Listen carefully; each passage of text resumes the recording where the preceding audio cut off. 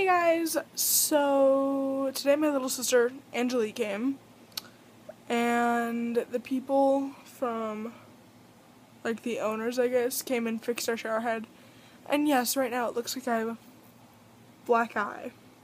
It's because I was working on eyeshadow earlier before I took my shower.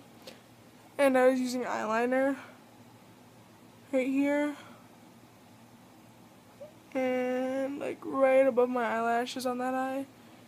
And it didn't totally come off with paper towel that was wet, baby wipes, or a shower in which I literally took like bubble bath slash body wash slash whatever and like went all over my face. So whatever. It'll wear off eventually.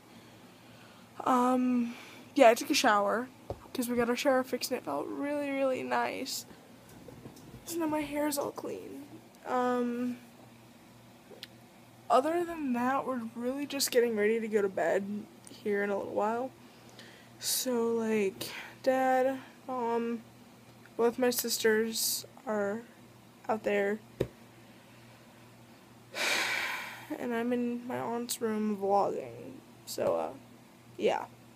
Um, anyway, tomorrow's Christmas Eve, which means I get to go to Christmas Mass down at the Catholic Church.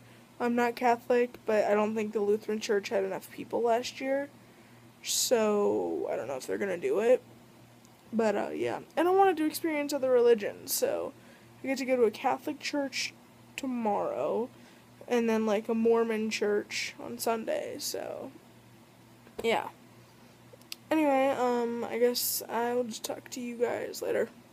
See ya.